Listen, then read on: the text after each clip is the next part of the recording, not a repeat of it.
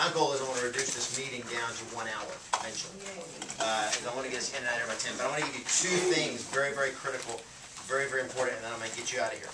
I meant, at the beginning, I asked you how many of you guys wanted to have a better year this year and intending to change it. Most of you have already started making the changes. So I wrote this down, I wrote 2011, 2011 can, res- can represent the turning point in your business. 2011 can, can represent the turning point in your business. Okay, and then I thought this thought. A year is too long to be a turning point. Right? Does that make sense? A year is too long to be a turning point. And there's this quote on the top of your agenda from Tony Robbins that I think is a very, very powerful quote-. I want everybody just to look at it. Your whole life, that this is the quote, you- but you can put in here, your whole business can change in just one day. The day you decide what you're committed to having. So what you have to do is make the decision to change. I'm changing my business today, and then every day you just have to take action on the commitment that you have made. The- But the turning point happens one moment at a time. Does that make sense, everybody? Okay? Now, if you turn and then you unturn every day, you know, so I'm gonna start exercising every day. You get up? Nope. Sit back down. You didn't make the turning point. Okay, the next morning you get up, no, I can't get up today. There's no turning point made until you take action on the commitment you made. Does that make sense? Yes. Okay? And then I want you to write down this last thing. Uh, Michael asked what was the most important three things I learned at the Mike Ferry event. Uh, I've written down about 23 of them.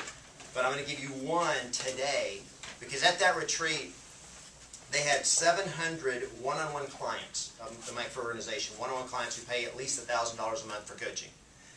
There were over 700 there who had their best year ever in 2010 Wow. okay, that had their best year ever. Their average, the, of the seven hundred, their average per person productivity, which means average number of transactions closed per agent was over fifty-five.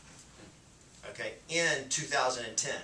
Not the greatest market, not the greatest economy, and yet seven hundred, which is, represents about half of the one-on-one clients that are in the Mike Ferry system right now.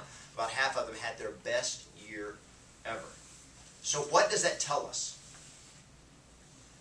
Here's what it tells us. It's possible.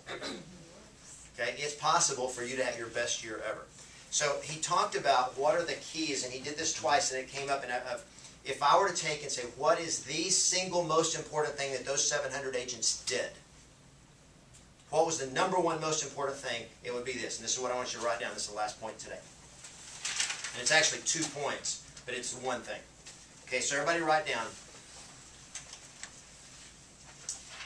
I must manage my time. I must manage my time by following a productive schedule at all costs. That is the number, the, the single most important factor in those agents going, having their best year ever. I must manage my time by following a productive schedule at all costs.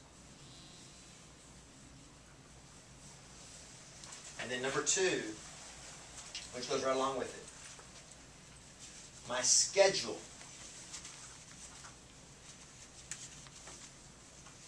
is the most important part of my business. My schedule is the most important part of my business. Now, what's the condition of that? Schedule. Okay. Follow it. You have to follow it. okay? But my schedule is, eh, Gary Keller calls it what? What does Keller Williams call it? Having a schedule, setting a schedule.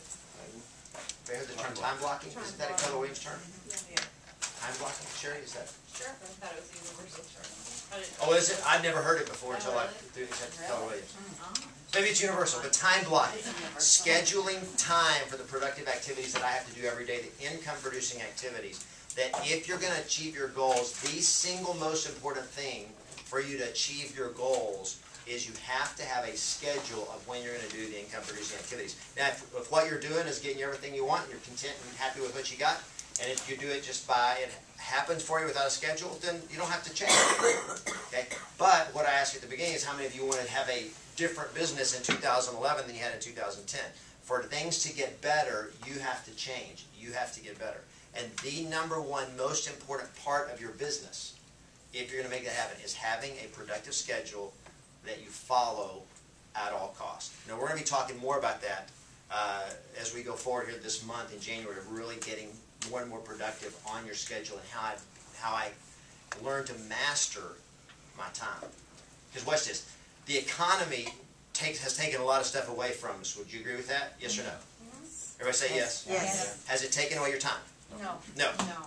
Time is still a commodity you have just as much of as you've always had. So the key is learning how to take advantage of that time and use it in a way that will maximize return. Make sense? Yes. Ladies and gentlemen, have a phenomenal week. Thank you.